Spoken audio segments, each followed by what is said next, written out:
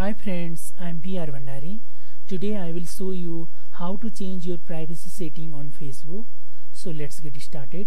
Log into your Facebook account and then go to this little arrow icon on the top right hand corner of the page.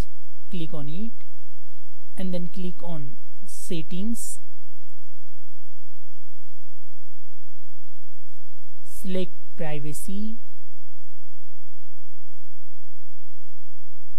who can see my stop? It is public now. Click on edit. And click here.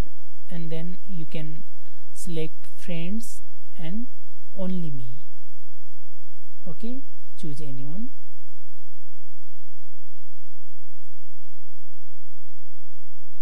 Now click on timeline and tagging who can add thing to my timeline? Click on edit. And then click only me. Close it. Who can see things on my timelines? Who can see photo post have been tagged in on your timeline? Okay. Click on edit